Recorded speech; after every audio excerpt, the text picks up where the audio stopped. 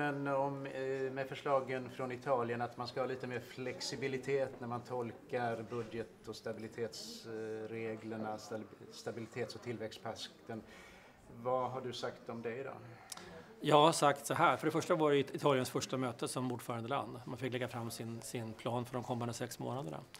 Jag tycker i likhet med de allra flesta länderna att den flexibilitet som finns idag i pakten är tillräcklig. Den är bra att den finns, men den är tillräcklig. Och det finns inga skäl att göra ytterligare eh, utvidgningar, utvidgningar där. Italien säger att om man gör strukturreformer, lovar förändringar, då, då, ska man kunna få lite längre tid på sig att få ner skulderna och så vidare. Italien framhäver kraftigt strukturella reformer, det tycker vi är bra. Men vi ser ingen motsättning mellan det och eh, eh finanskonsolidering, utan tvärtom, de går ofta hand i hand.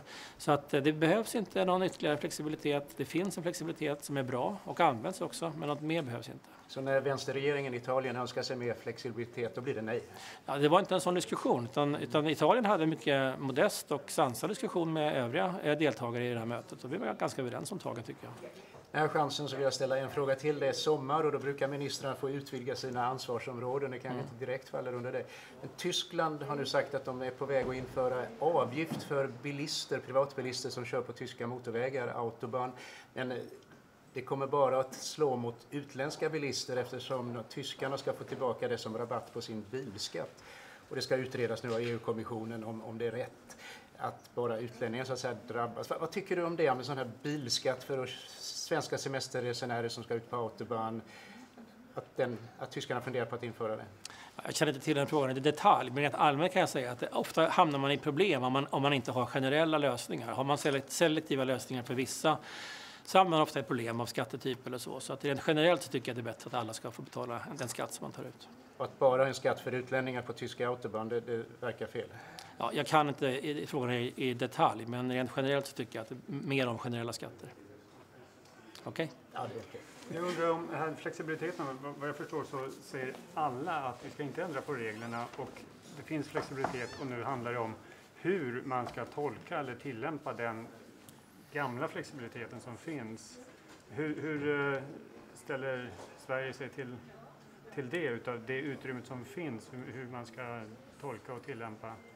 Alltså vi kommer inte in i sådana diskussioner överhuvudtaget. Utan vad det handlar om, tycker jag, det är att det finns en flexibilitet i dagens regelverk som är bra att den finns. Till exempel så kan man göra infrastruktursatsningar som inte behöver räknas med när man tittar på budgetutrymme och så. Eh, vi tycker att de här är fullt eh, rimliga eh, och behöver inte utökas ytterligare.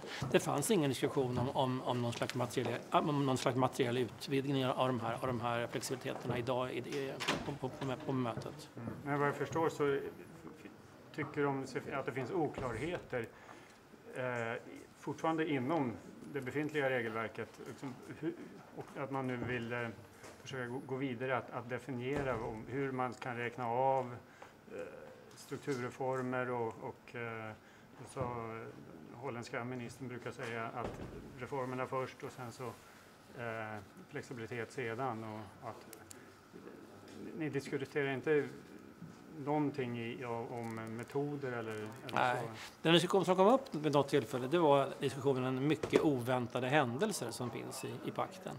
Eh, och det var en diskussion om man skulle definiera dem eller inte. Och, och det kom man fram till, vill jag påstå, att det är väldigt svårt att definiera vad mycket oväntade händelser är. Det, det, det vet man liksom när den händer, så, att så får man hantera den mm. efteråt. Så det var något land som ville ha en mer konkret definition av detta, men sen kom man i diskussionen fram till att det skulle vara ganska ogörligt. Mm. Mer än så diskuterar vi inte utökad flexibilitet. Utan det blir vad händer nu? Det blir fortsatta diskussioner? Det blir på tjänstemannanivå eller hur?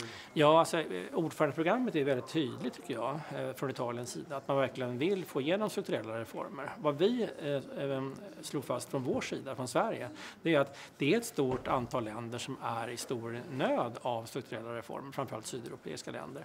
Eh, de här eh, reformerna gör ofta ganska ont, eh, men det är nu och de närmsta åren man har ett öppet fönster för att göra de här reformerna. För att gör man dem inte nu, då riskerar man att hamna i ett läge som man hamnade i mitt under finanskrisen, att när det är som allra värst blir man tvingad av finansiella marknader att göra reformer. Och då, då, då spär man på en lågkonjunktur.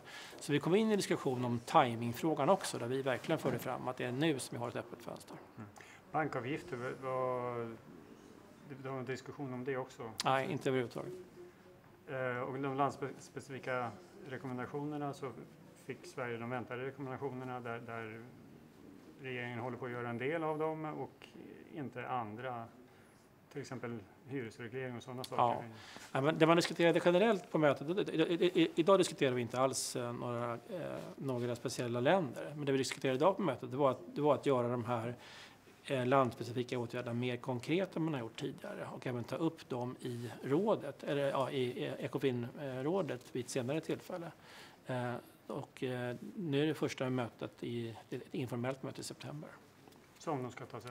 Som man kanske kan hitta former för hur det ska diskuteras på ett mer konkret sätt än tidigare.